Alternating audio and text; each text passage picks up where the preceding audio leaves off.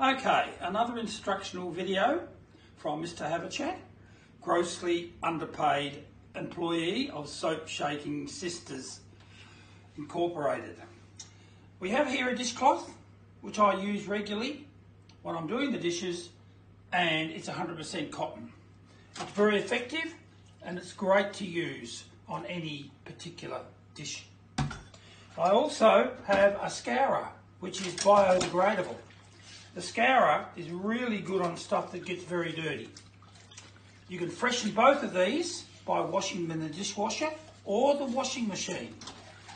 The end of life, well then you put them in the compost, both of them. But they do last a long time. A lot of sponges and scourers have plastic in them. Not these. Remember soapshakinsisters.com.au for any information on what I've just given.